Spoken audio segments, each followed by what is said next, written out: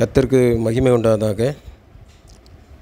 அடுத்த கேள்வியாக எந்த மனுஷனும் பொய்யன் என்று சொல்லப்பட்டிருக்கிறதே உலக தோற்றம் முதல் எல்லாரும் பொய்யன் தானா? நீதிமான் ஒருவனும் இல்லையா? ஐயா இதற்கு விளக்கம் தரும்படி கேட்கிறேன். நல்ல அருமையான கேள்வி கேட்குறார் ஐயா.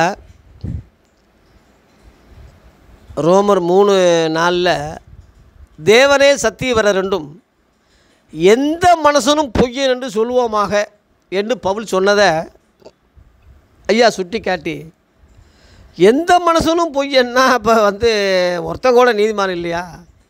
இது என்ன இப்படி பவுல் சொல்லியிருக்கான்னு சொல்லி பவுலை பார்த்து கேள்வி கேட்கணும்.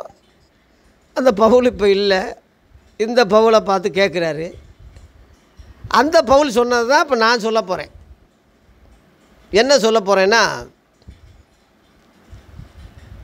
எந்த மனுஷன் சொல்லும்போது ஆரம்பத்தில் உள்ள ஆதி மனுஷனே போய் சொன்னானே. ஆதி மனுஷன் ஆதாம தமது சாயலாக தமது ரூபத்தின்படி படைச்சார். அவன் என்ன சொன்னான் நீ கொடுத்த இந்த பொம்பளை தான் என்னை சாப்பிடும்படி செஞ்சிச்சின்னு தேவனை பழி சொன்னான் அது ஒரு தப்பான குற்றச்சாட்டு தானே? அது அது பொய்ன்னு தானே சொல்ல முடியும். மெய்யாது. அது அவர் படைச்ச ஆதி மனிதனே ஒளிஞ்சிக்கிட்டான் இருக்கு. நல்லவன் ஏன் ஒளியிறான்? பழத்தை சாப்பிடாதேன்னு சொல்லி ஆ, ஏவாளுக்கு கர்த்தர் சொல்லலை. ஆதாமுக்கு தான் சொன்னார். அவன் நம்புவான் கீழ்ப்படிவான் கேட்பான் என்று நம்பினார். நம்பிக்கை துரோகம் பண்ணாவன் அவன் அவன் ஒன்றும் தெரியாமல் ஒன்றும் பழத்தை சாப்பிடல. சாப்பிடக்கூடாதுன்னு எதை சொன்னாரோ அதைத்தான் அவன் தெரிஞ்சு வேம்பு வீம்புக்குன்னு சாப்பிட்டான். ஏவாள் வந்து வஞ்சிக்கப்பட்ட. அந்த அம்மாவுக்கு கத்தர் சொல்லலை. சாப்பிடக்கூடாதுன்னு அந்த அம்மாவுக்கு சொல்லலை. அப்போ அந்த அம்மாவே இல்லை. இவன் சொல்லியிருப்பான். அந்த பழத்தை வந்து சாப்பிடக்கூடாதுன்னு கத்தர் சொன்னார்னு இவன் கேட்டதும் இல்லாமல் சொல்ல வேற செஞ்சான். மற்றவனுக்கு சொன்ன இவனே கீழ்ப்படியில் இவனே அதை கேட்கல. ஓசியா புஸ்தகத்தில் உடன்படிக்கைக்கு அவன் துரோகம் பண்ணானே இருக்குது துரோகி அவன். உடன்படிக்கையில் துரோகம் பண்ணான். பாவி மட்டும் இல்லை துரோகி. அதனால் ஆண்டவர் ரெண்டாவது அவனுக்கு ஒரு வாய்ப்பு தர்றார். ஆதாமே நீ எங்கே இருக்கிறாயின்னு. ஆதியாக மூணாம் அதிகாரத்தில் திரும்ப தேடி வர்றாரு. அது ஒரு வாய்ப்பு. அவன் பாவம் செய்தது தெரியும் துரோகம் செஞ்சது தெரியும் மீறினது தெரியும். தெரியாமல் ஒன்றும் கர்த்தர் வரல. தெரிஞ்சு தான் வந்தார்.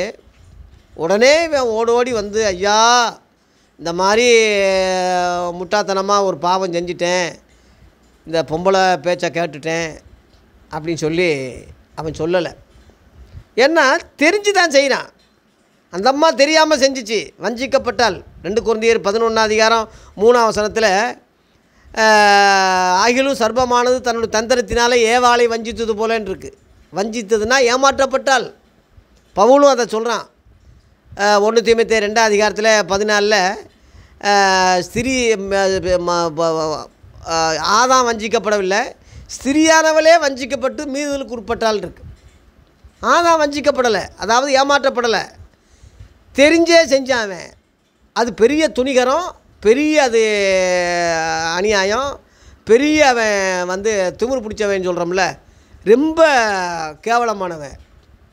அதனால் அவனுக்கு ஒரு வாய்ப்பு திரும்ப கொடுக்க ஆதாமே எங்கே இருக்கிறாப்பான்னு கேட்டால் அவன் நான் பயந்து தோட்டத்தில் பயந்து ஒளிஞ்சுக்கிட்டேன்னா அது அவன் உண்மையிலே அன்பு உள்ளவன்.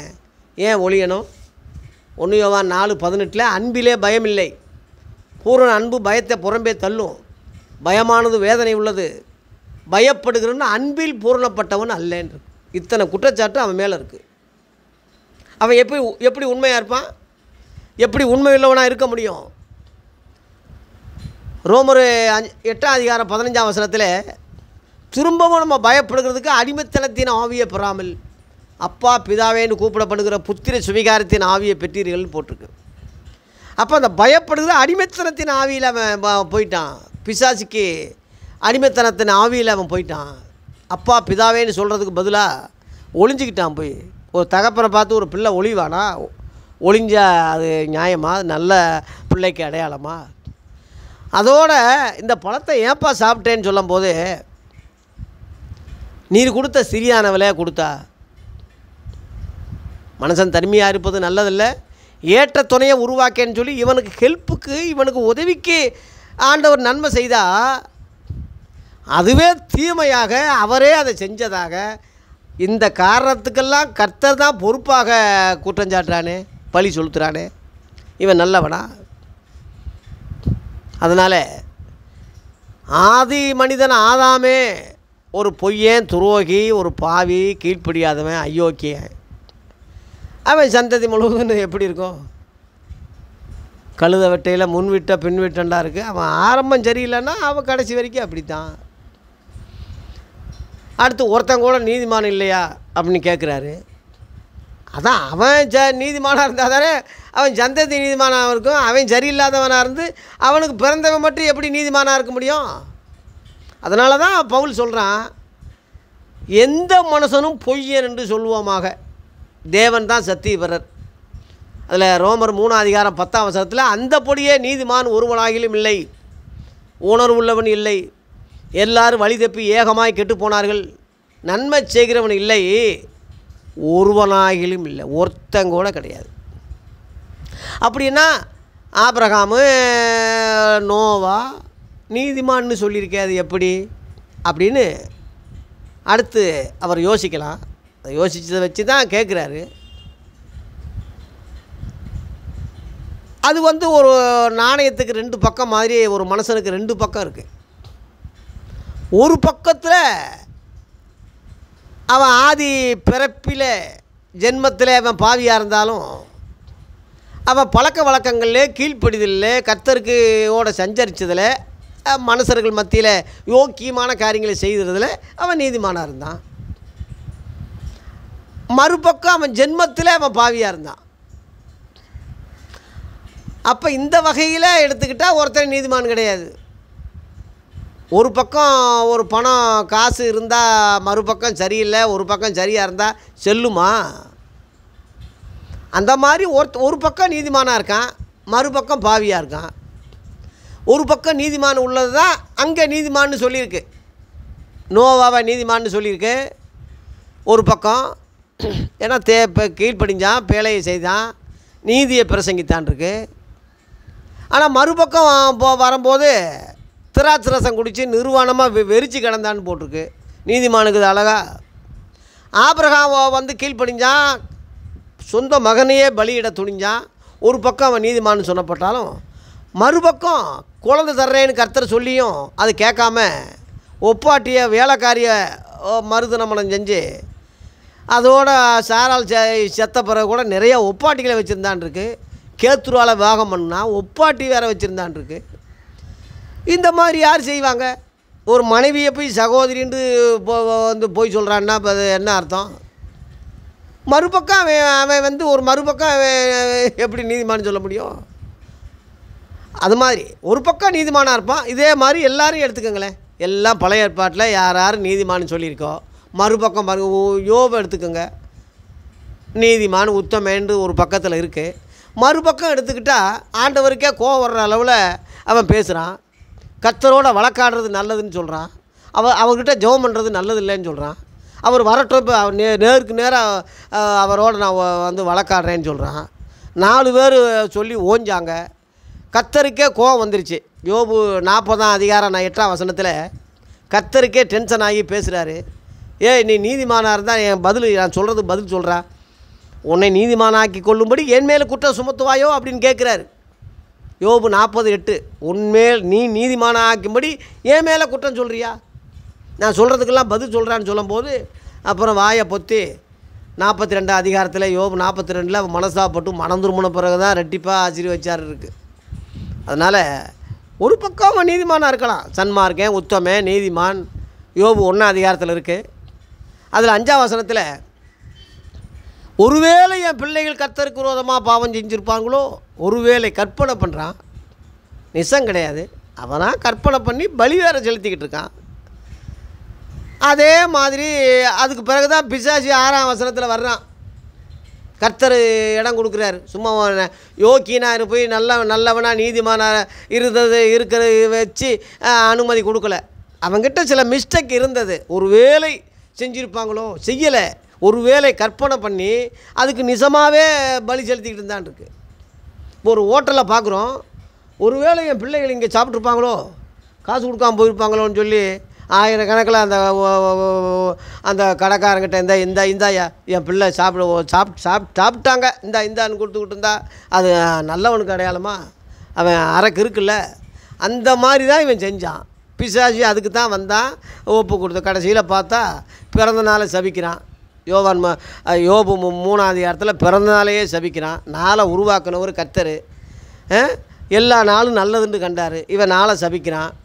அதில் யோபு மூணு இருபத்தஞ்சில் நான் பயந்த காரியமே எனக்கு வந்தது. நான் அஞ்சினதே வந்து ஏன் பயப்படுறான்? அன்பிலே பயமில்லை என்பது தான் புதிய ஏற்பாடு. அதனால் சந்தேகப்படுகிற எவனும் காற்றினால் அலைகளை கடல் அலைக்கு ஒப்பாக இருக்கிறான். அப்படிப்பட்டவன் எதையும் கர்த்தர்கிட்ட கேட்கக்கூடாதுன்னு போட்டிருக்கு. சோதிக்கப்படுகிற எவனும் நான் தேவனால் சோதிக்கப்படு என்று சொல்லக்கூடாது. அவையவே சுய இச்சையினால் இழுக்கப்பட்டு சிக்குண்டு சோதிக்கப்படுறான். பின்பு இச்சையானது கர்ப்பம் தெரிவித்து பாவத்தை பிறப்பிக்கும். பாவம் பூரணமாகும்போது மரணத்தை பிறப்பிக்கும் சொல்லி யாக்கோப்பு ஒன்றா அதிகாரம் பதிமூணுலேருந்து இருக்குது அதனால் இருமணம் உள்ளவன் தன் வழிகளெல்லாம் நிலையற்றவனாக இருக்கிறான். ஒரு நாள் ஒரு பக்கம் நீதிமான் சன்மார்க்கேன் இருக்கேன் தேவனுக்கு பயந்தவன் பொல்லாப்பு ஒரு பக்கம் மறுபக்கம் இத்தனையும் இருக்குது நம்ம கிண்ட போது. இந்த படி எடுத்துக்கிட்டால் நீதிமான் ஒருவனாகி ஒருத்தன் கூட கிடையாது என்பது தான் உண்மை. பொய்யனாக பொய்யனா இருக்கான் நீதிமான அப்போ இலவசமாக அவனை கத்தர் வந்து நீதிமான ஆகிறார் எப்படின்னா ரோமர் மூணு அதிகாரம் இருபத்தி மூணு இருபத்தி நாலில் போட்டிருக்கு.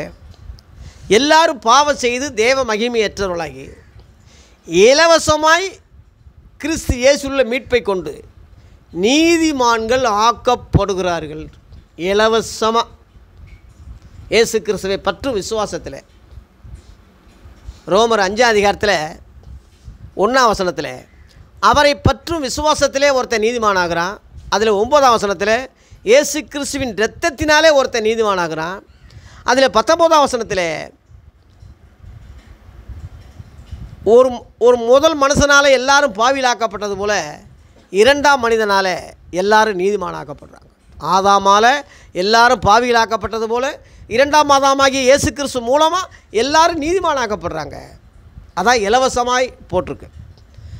ஆகவே இந்த அடிப்படையில் இந்த வசன அடிப்படையில் எந்த மனுஷனும் பொய்யந்தான். ஒருத்தன் கூட நீதிமான் இல்லை தான் மறுபக்கத்தில் அவனுடைய நற்கிரிகள் உலகப்பிரகாரமான சில நல்ல காரியங்களை வச்சு அவன் நல்லவன் வல்லவன் கெட்டிக்காரன் நீதிமான் ஒரு பக்கம் இருந்தாலும் மறுபக்கத்தில் இப்போ எல்லாருக்குமே இப்போ அரசியல் தலைவர்கள்லாம் பார்த்திங்கன்னா ரெண்டு பக்கம் இருக்கும். இப்போ எம்ஜிஆர் எடுத்துக்கிட்டால் கொடை வள்ளல் ரொம்ப கெட்டிக்காரன் ஏழைகளுக்கு கொடுத்த கொடுத்து கொடுத்து சிவந்த கரம் ஒரு பக்கம். மறுபக்கம் அவன் திரை வாழ் அண்டர் கண்டு வாழ்க்கையை பார்த்தா அவன் நல்லவனா? கல கலைஞர் கருணாநிதி எடுத்துக்கோங்க. பெரியாரை எடுத்துக்குங்க. அண்ணாதுரை எடுத்துக்கோங்க. காமராஜர் எடுத்துக்கோங்க. ஒரு பக்கம் ஆனால் மறுபக்கம் அவன் குடும்ப வாழ்க்கையில் அந்தரங்க வாழ்க்கையில் நூற்றுக்கு நூறு ஒரு மனுஷன் நீதிமானா இருக்க முடியுமா? பரிசுத்தமாக இருக்க முடியும். பிறப்பே பாவின்லாம் இருக்குது ஐம்பத்தோராம் சங்கீதத்தில் என் பா என் தாய் என்னை பாவத்தில் கர்ப்பம் தரித்தாள்னு போட்டு அக்கிரமத்தினாலும் பாவத்தினாலும் மறித்தவர்களாக இருந்த உங்களை இயேசு உயிர்ப்பித்தார் என்று கத் தேவன் உயிர்ப்பித்தார்னு எபே எபேசி ரெண்டு ஒன்றில் இருக்குது அப்போ அதில் தான் நம்ம மறித்தவங்களாக இருந்தோம். அதனால் இந்த வசன அடிப்படையில் உலகம் முழுவதும் எடுத்துக்கிட்ட ஆதாமிலிருந்து எல்லாரும் பாவிகள் எல்லாரும் பொய்யர்கள் தான். பொய்யர்கள்னால் வர்றேன்னு சொல்கிற ஒன்று கண்டிப்பாக வர்றையான்னு சொல்கிறோம் வராமல் போகுதில்ல அப்போ பொய் தானே? கண்டிப்பாக கொடுத்துட்றேன். கொடுக்க முடியலையில பொய் தானே அது. அதனால தான் யாக்கோப்பு நாலாவது அதிகாரத்தில் கர்த்தருக்கு சித்தமானா நாங்களும் உயிரோடு இருந்தால் இன்னென்ன செய்யணும்னு சொல்லுங்கள் அப்படின்னு சொல்லியிருக்கு. அதனால் சொன்னது நம்ம காப்பாற்ற முடியாது. எத்தனையோ பேர் சொன்னாங்க முடியல பொய் தானே இப்போ அது. அந்த வகையில் எடுத்துக்கிட்டால் எவனை எவன் நீதிமானாக்க முடியும்? ஆனால் மறுஜன்ம வாழ்க்கையில் மறுபிறப்பு வாழ்க்கையில் மனம் திரும்பின வாழ்க்கையில் புதிதாக்கப்பட்ட வாழ்க்கையில் இலவசமாக நீதிமானாக்கப்பட்ட அந்த முறையில் தேவனுடைய பிள்ளைகள்னு முறையில் வசன அடிப்படையில் ஒருத்தன் வாழ்ந்தா ஏதோ இந்த ஜென்ம சுபாவத்தில் அவன் சில காரியங்கள் இது பண்ணாலும் கூட ஆவிக்குரிய வகையில் அவன் நீதிமானாக இருப்பான். ஆவிக்குரிய வகையில் அவன் மெய்யனாக இருப்பான். பெ- மெய்ய அவன் பேசுவான் மெய்ய நடப்பான். இப்படியே அவன் தாக்கு பிடிச்சி போனான்னா கடைசியில் ர- ரகசிய வருகையில் இந்த சரீரமே மறுரூபமாகி எடுத்துக்கொள்ளப்படும் போது பூரண புருஷனாகிறான். தேவனைப் போலவே மாறிடுறான். தேவன் போய் சொல்லுவாரா? அந்த மாதிரியே மாறிடுவான். இயேசுவை போலவே மாறிடுவான். அவனுடைய சாயலுக்கு ஒத்த சாயலாக மாறிடுவான்.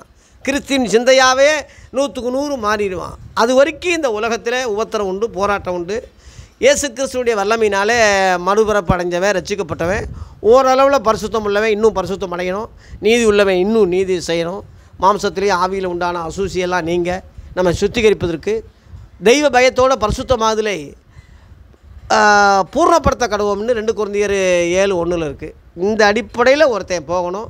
தன்னுடைய மாம்சத்தையும் காரியத்தெல்லாம் உலக வேஷங்கள் எல்லாம் வந்து பலிபடத்தில் வச்சுட்டு புத்தி உள்ள ஆராதனை செய்யும்படி ரோமர் பன்னெண்டு ஒன்றின்படி தன் சரீரத்தை ஜீவபலியாய் ஒப்பு கொடுத்து பரிசுத்தத்தில் வளர்ந்துக்கிட்டு போகிறவன் தான். ஓரளவில் கத்துடைய பிள்ளையாக உண்மையாக இருக்க முடியும். நீதிமானா இலவசமாக்கப்பட்ட வகையில் நீதிமானாக இருக்க முடியும். அவனா நீதிமானம் அல்ல. தேவனால் ஆக்கப்பட்ட அந்த நீதியை அவன் நீதிமான்னு சொல்லலாம். அதில் வளர்ந்துக்கிட்டே போனான்னா மருவமாகி ரகசிய வரிகள் எடுத்துக்கொள்ளப்பட்டா தேவனைப் போலவே இயேசுவைப் போலவே ஆவியானவரை போலவே முற்றிலும் அவன் மாறிடுவான். அதுதான் நிறைவுள்ள வாழ்க்கை. அது வரைக்கும் இந்த உலகத்தில் குறைவுள்ள வாழ்க்கை தான். எந்த மனுஷனும் நீதிமான் இல்லாத பொய்யன்னு சொல்கிறது தான் வசன அடிப்படையில் உண்மை. இதுதான் அடியேன்னு சொல்கிறேன்